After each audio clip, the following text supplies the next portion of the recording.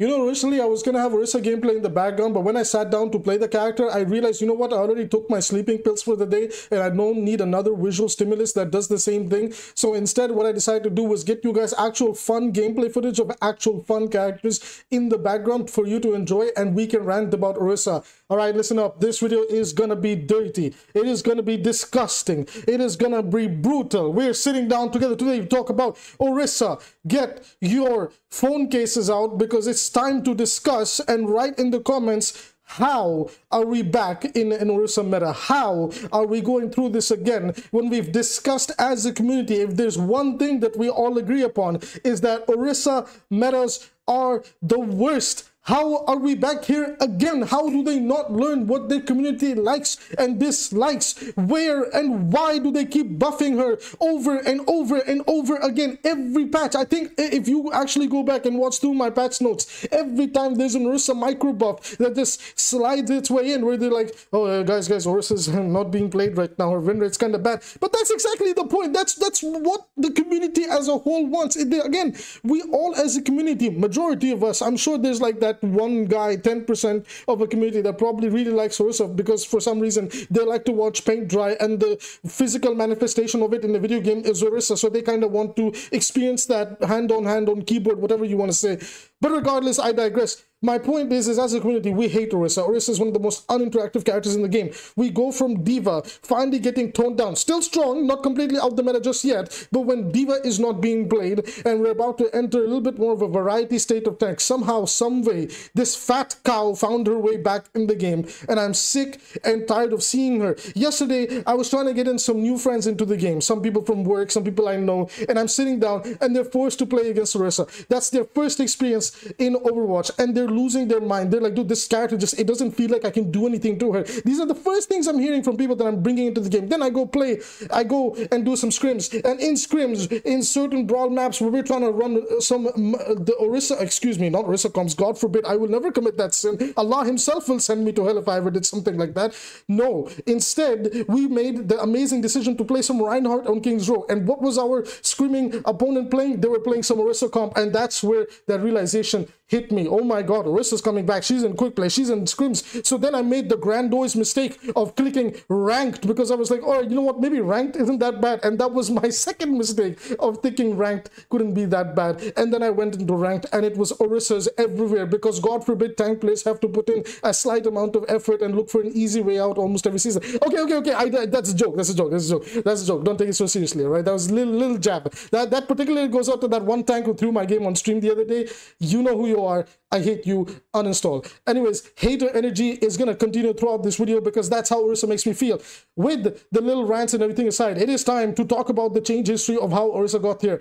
30th April 2024 is where Orisa got her big nerfs. Fortify's duration was reduced from 4.5 to 3.5. Orisa was moving 20% slower and Javelin Spin got toned down from 7 to 9 seconds. So, this is how Orisa's power was stripped away from her and this was desperately needed back then. I still remember this like it was yesterday because Orisa was impossible to contest. Even Zarya was having a harder time against her. And now let's look at what happened. Look at your screen right now. This is how you turn a cow into a buffalo and then from a buffalo into a triceratops that can run you over and there's nothing you can do about it because the only person going extinct in the lobby is you. Javelin spin from 9 to 8 8 seconds, Fortify from 3.5 to 4 seconds. Okay, you know what? That's kind of enough. Let's not talk about that. So energy javelins, impact damage goes up from 60 to 80, and she never got her fall off thing changed on her weapon either. So her overall DPS has gone up. Then Fortify's movement speed goes down. Ah, How are we here?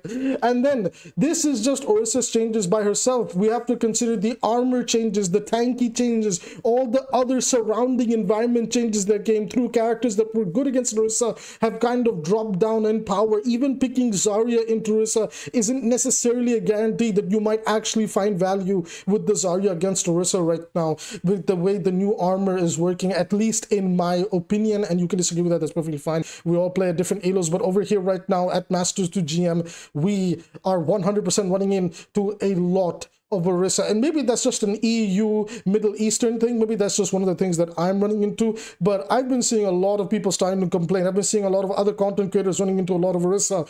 And man, like going from D.Va to Orisa it's like going from bad to worse. And you're just like, why can't we just have a nice meta in this game where healthy, interactive characters are what are at the top? And this is why I've always said you can never find a perfect balance in Overwatch, and that is fine. What you need to understand is which heroes are the most interactive, which heroes are the most fair from the way that they approach the game, which heroes are made on a good skill to reward curve. Is the reward meeting the curve of the person learning the character? Are they beginning to understand and derive the value that they're supposed to? Is that happening and one of the characters that i personally feel that this does just does not happen on is orisa now why is that the case orisa is literally the most brain dead press a button character in this video game's history yes i will even go as far as to defend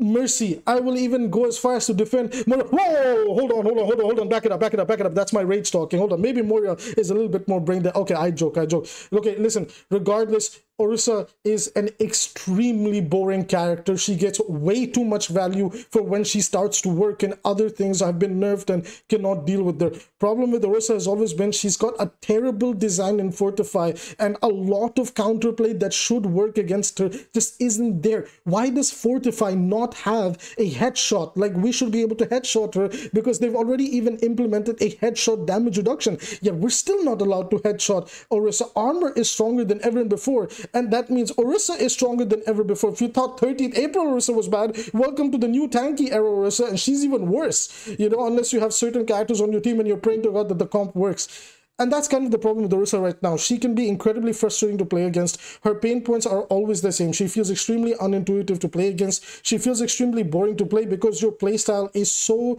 one-dimensional and basic. You really don't have to put in any effort or any like comparatively to other tanks realistically like i cannot think of any other tank that you can lock in turn your brain off and get infinite value than orisa. And that's just because the character is just designed in this way where when you press a button you get so much value. If you press e you just negate projectiles and bullets. You press shift and now you you you're you're just god of war. You are just unstoppable. You're unkillable. You're walking over everybody. You're like kratos tearing people limb from limb shoving your spear up somebody's ass then so they don't see the sun again. Like, what are you supposed to do against this character?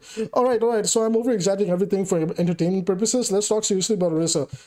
On a more serious note, get this character out of the meta. I've been really kind to when it comes to actual suggestions and, and when it comes to perhaps giving the balance team a little bit more leeway than I should.